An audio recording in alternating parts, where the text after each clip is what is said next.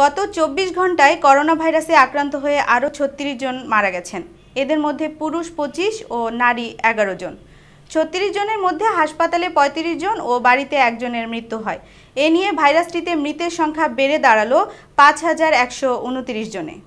আজ বিকেলে স্বাস্থ্য অধিদপ্তরের অতিরিক্ত মহাপরিচালক অধ্যাপক ডাক্তার নাসিমা সুলতানা স্বাক্ষরিত করোনা ভাইরাস বিষয়ক এক সংবাদ বিজ্ঞপ্তিতে এ তথ্য জানানো হয়। এ সময় করোনা ভাইরাসে আক্রান্ত নতুন রোগী শনাক্ত হয়েছে আরও এক হাজার একশো ছয় জন। ফলে দেশে মোট শনাক্ত রোগীর সংখ্যা দাঁড়াল তিন লাখ সাতান্ন হাজার আটশো তিয়াত্তর জনে। এছাড়া এ সময়ের মধ্যে সুস্থ হয়েছেন আরও এক হাজার সাতশো তিপ্পান্ন জন। এ নিয়ে মোট সুস্থ হয়েছেন দুই লাখ আটষট্টি হাজার সাতশো সাতাত্তর জন।